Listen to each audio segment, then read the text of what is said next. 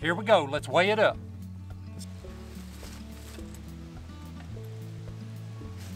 Hey everybody, my name's John and welcome to my channel. This is all about what I consider my lightweight gear. We're going to scatter it out on the ground, we're going to weigh it up, we're going to go through all the details. So stay with me and we'll get started. You're looking at my lightweight loadout kit. And this kit will take me down to about 39 degrees. So let's go ahead and dive into the gear and take a look at it. This is the ULA OHM 2.0. It's an ultralight backpack. And on the front, it just has this stretchy pouch. And on the back, of course, you have your harness, your shoulder harness, and it has the load lifters. And of course, you've got your normal shoulder strap cinch. Now each side of this harness has these bungee cord tie-outs. If you wanted to hook some gear onto it, I use it to hook my water bottle on there. Let's talk about the hip belt. The hip belt on the back, it has this cinch strap so you can pull it up against your body, uh, up against your hips. And also on the front of your hip belt, it has two adjustments to it on each side. So you can tighten it down with two adjustments.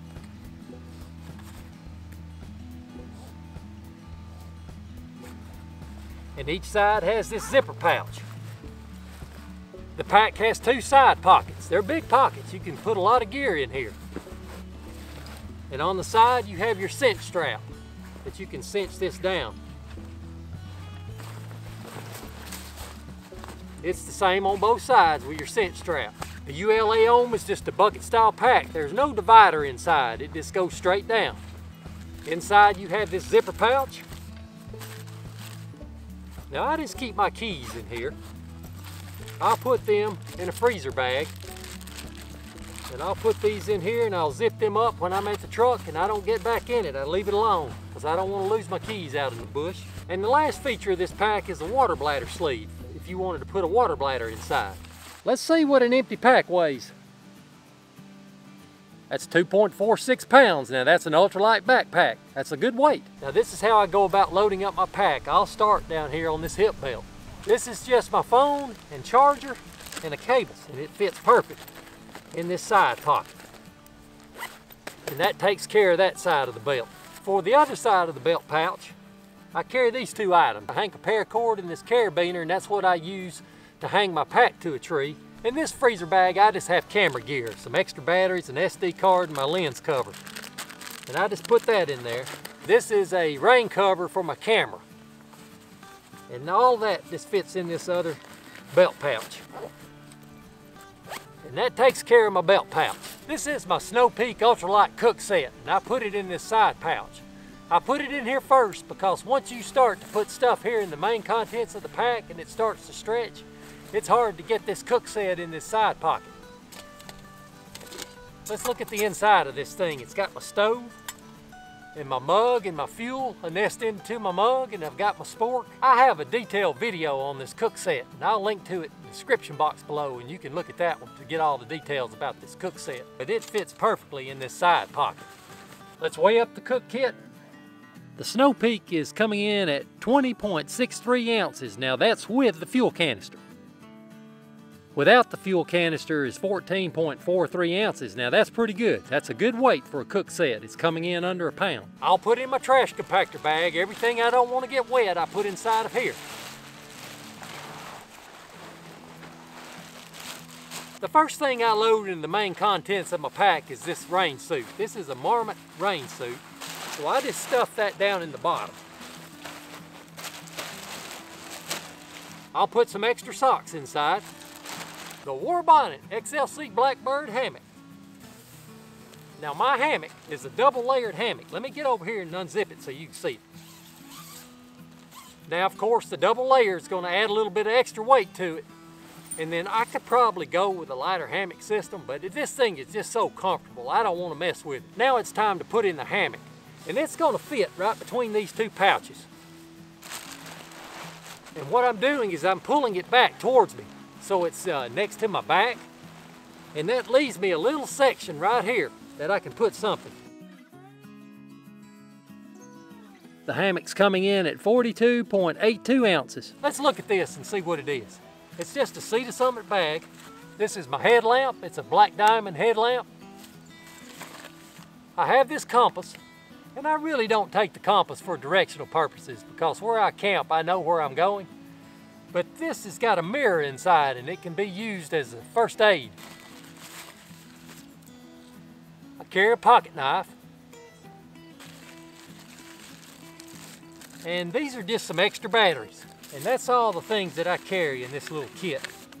That's gonna fit right up here in that area, right there. Headlamp, pocket knife, extra batteries, and compass weigh 10.58 ounces. I have two pieces of gear here. I have this Thermarest seat pad, and then I have this Zpacks footprint for a tent that I put underneath my hammock. I stake it out. Yeah, I just put this down in this sleeve. It fits right in there. My next two items that go in will be my Zpacks sleeping bag and my war underquilt. Yeah, this is a 20 degree down underquilt. It's a torso length quilt. It's a Warbonnet. And it's a Yeti. It's called the Yeti. This is my Zpacks 40 degree down sleeping bag. Let me show it to you. It's rather expensive, but it's worth it. It's worth every penny I paid for this bag. I really do like it. One of the reasons I like this sleeping bag is because it's designed to zip down the middle. And so I can use it as a top quilt since I sleep in a hammock. Here's the foot box. And it's not a wide foot box. It's, you know, it's rather narrow for a foot box, but it's fine for me. It works just perfect. I want you to see something on how I pack this thing. Now, if you notice, it's wider that way than it is that way. And I'm gonna put these two side by side and they'll go right down in my backpack, just like that. And I'm gonna put this up against my back. This goes up against my back and this will go in front of it. Okay, I'm gonna start out with a sleeping bag. I'm gonna put it in just like that, up against my back. Then I come in here with my underquilt. Now that's gonna go in front of it. So right here is the top. The underquilt. It's coming in at 12.66 ounces. The Zpacks sleeping bag. The Zpacks is coming in at 15.98 ounces, and that's with a stuff sack that weighs less than a pound, a 40 degree down sleeping bag. Now that's pretty good, that's lightweight. This is my Sawyer water filtration kit. Let me show it to you. This is the regular Sawyer squeeze. And I have two of these aftermarket bladders. They're CNOC bladders. That's the plunger that goes with it to back flush it. And I just have some cordage and a coupling so I can do some gravity fed type water filtration. Water filter kit will fit right up here in front. The Sawyer water filtration system the water filtration kit weighs 10.16 ounces. Next up is my hygiene kit slash first aid kit, and I keep it in this OP sack, and that prevents the smells from coming out to attract animals, and so I just keep this inside my pack all the time. But let's get into it and look at it. I just carry some powder. This would be my toothbrush and toothpaste and dental floss. Then I have my toilet paper and bio wipes. Then I have my first aid kit, and I just put this together. It has some cough drops, some nasal decongestant, some antacid, some alcohol wipes and iodine wipes. And then I have some of these butterfly band-aids. So I'll take this kit and I'll put it on top. And on top of that, I'll put my gloves. Now that's everything that goes in this trash compactor bag. I just kind of roll it up at this point and push it down so right now, right here is the top of my gear. Hygiene kit. The hygiene kit weighs 8.68 ounces. Next up is my tarp. This is the Warbonnet Superfly tarp. And I've done several videos on this tarp. I'll link to it in the description box below. But let's just look at it. I'll show you how I stuff it. Now my tarp already has all the cordage attached to it. And I just pull it right out of this stuff sack. I just put the Superfly in next it goes right up against my back. And that leaves me a little room to put something in front of it. The Superfly tarp. The tarp weighs 21.27 ounces. Up next will be my tarp stakes and some cordage. Let's look at it. I'm just gonna pull all this out. This is my cordage for my tarp. Now these two are for my tie outs on my ridge line, and this is just some extra cordage that I take. This is a Dyneema, it's a real lightweight cordage, and it's strong, you'll never break it. These are strips of shock cord and I use that on my tarp to keep it tight. This is my cat hole trowel and I recommend this. This is a deuce of spades. It's made out of aluminum and it's real lightweight Don't waste your time on those plastic ones. Get this one. I've got two types of tarp stakes here. This is for that ground pad that I put underneath my hammock. These are the Groundhog Minis. And these are the regular MSR groundhogs. This is what I stake out my tarp with. This is just a carabiner that I take, and I use this to hook over my ridge line inside my hammock. I hook that Sea to Summit bag that I use to carry around my headlamp and extra batteries and compass, and then I'll put my glasses and things like that in there at night. I just take that stuff sack and put it right in front of my tarp. Tarp stakes and cordage. 10.65 ounces. Very last thing that I put in the main compartment of the pack is my Ursack. This will be my food bag. Now this is an OP sack, and I use this for trash. Now of course all these OP sacks are odor proof, the smells can't get through. And then I have a second one, oh, OP sack just like it, and I keep my food inside of it. And since I have all my trash and food in those OP sacks, it doesn't matter if this Ursack gets wet. I always just tie this to a tree. I'll just put my food bag on top. I'll take this cinch strap and I'll tighten it down. I'll roll up the extra cordage, put it inside, then I just roll that over. And this thing has got a strap for it that you can tighten it down with over here on the back side. You got a snap here on front.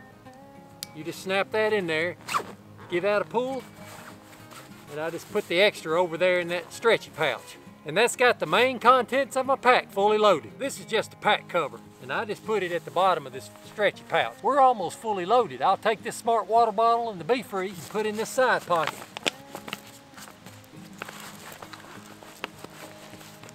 All right, now I'm gonna take care of these cinch straps on the side. I just give these a tug.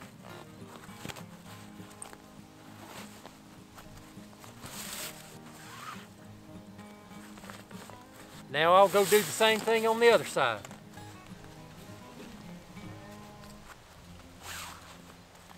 After I strap on the pack, I'll put on this water bottle right here. It fits right there. And that's it. That's my lightweight pack loadout. Let's weigh up this pack. Let me turn on my scale. And we'll be reading in pounds. And I'm gonna hook this pack up and we'll see how much it weighs.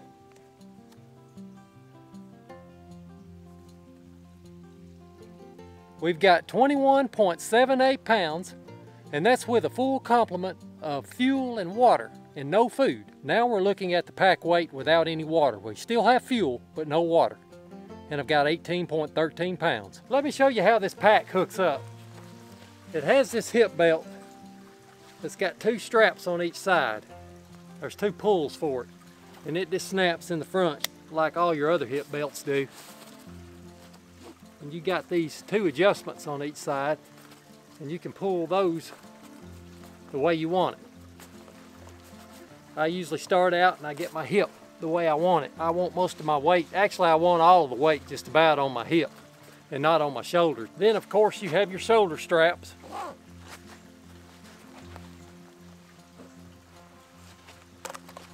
I fit them up next.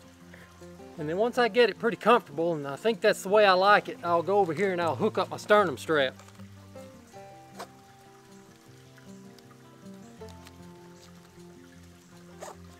That feels pretty good right there. So at this point, I've got these side straps on my hip belt. Now I'll pull them.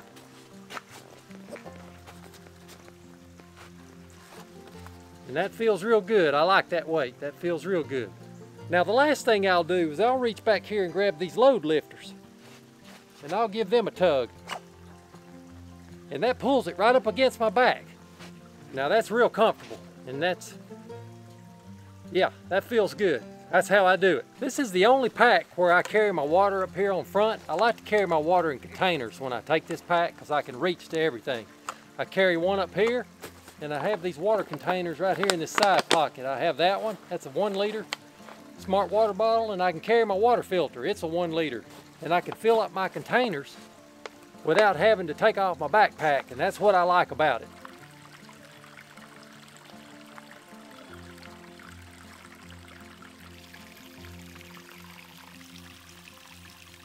You saw how easy it was for me to filter the water and fill up these containers without even having to take my pack off. Now I can take the full container And I can easily put it right back in my backpack. I can take this full BeFree. I can put it right in beside that one. No problem. And then of course I have this full one on front. I hope you enjoyed this video. If you did, give it a thumbs up, subscribe to me, hit that bell so you'll get notified on my next video, and check out these videos. Thank you for watching.